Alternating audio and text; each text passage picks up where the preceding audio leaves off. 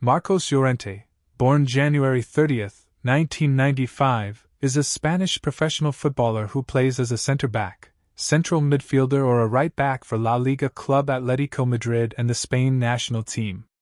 Developed at Real Madrid, he appeared in 39 competitive matches over three seasons, also serving a loan at Alaves. He signed with Atletico Madrid in June 2019, winning La Liga in his second season while being deployed in several positions. Llorente made his full debut for Spain in 2020. He was part of the squads at UEFA Euro 2020 and the 2022 FIFA World Cup.